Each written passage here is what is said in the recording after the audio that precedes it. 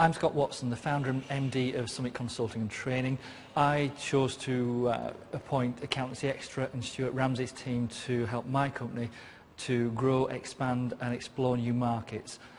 I have had uh, an accountant for the previous 10 years. They were very good. They produced the numbers and they were really good people. What I wanted more than that was a more cost-effective, flexible and creative approach to helping my business grow which we're in the people business and I think it's really important that when choosing an accountant you don't just look at who's the cheapest or who's most qualified. They are important.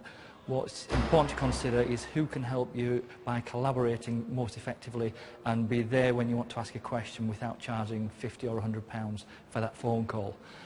The 18 months we've had so far with Accountancy Extra, we've uh, launched at least 22 new websites, we've expanded new markets, and also during the tough times in this economic climate, we've become more resilient and more focused on the few things that really matter that will help our business grow and help more people in that process.